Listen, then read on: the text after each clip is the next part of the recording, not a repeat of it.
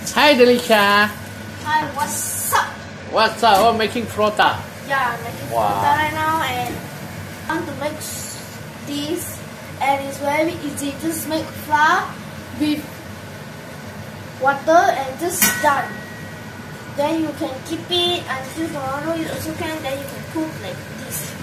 Don't put in fat and this is already done already. What is called? This called what? Sota, Prota. Oh, so you put what on top here?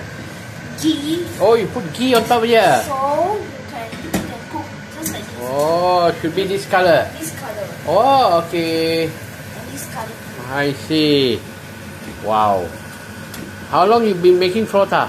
So long. Oh, in Gurdwara also you make protas also. Yes. Oh, and chapati. Yes. Oh my I God. Who teach you to make all this? my, ma- my father, the one that teach and my father was very clever to make anything. He's Oh. very smart.